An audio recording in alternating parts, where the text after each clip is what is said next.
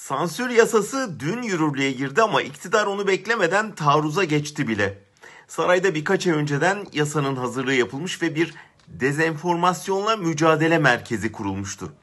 Bu sansür kurulunun başına da iktidar organı Sabah gazetesinden biri getirilmişti. Bu birim bir dezenformasyon bülteni yayınlamaya başladı. Merkez ilk bülteninde Sayıştay'ın Bartın faciasını önceden haber veren ve sümen altı edilen raporunu kendince düzeltmeye çalıştı.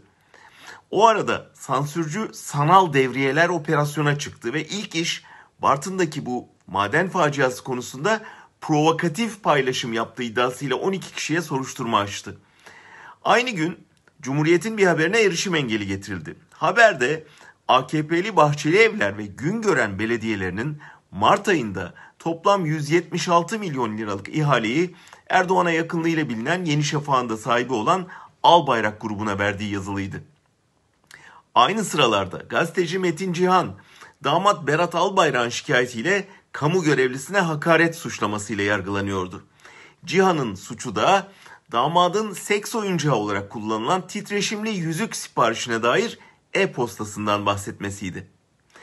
Akşamına Halk TV Rütü'nün verdiği 3. kapatma cezası nedeniyle tartışma programı yerine devlet eliyle hazırlanan belgeseli yayınlıyordu.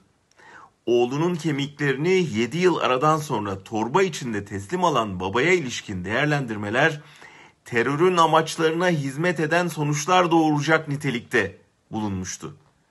Hemen ardından Rütük üyesi İlhan Taşçı sosyal medya hesabında Rütük Başkanı Ebu Bekir Şahin'in 10 güne kadar Tele1 ekranlarının karartılması için rapor hazırlatıp talimat verdiğini yazdı.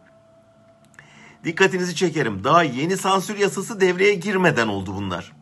Ama neyse. Biz giyotin başımıza inmeden sansür gerekçelerini sayarken bütün o yasaklanan haberleri size yeniden duyurmuş olduk. Sayıştay raporundan damadın titreşen yüzüğüne, torba içindeki kemiklerden al bayrağı verilen kıyak ihalelere kadar.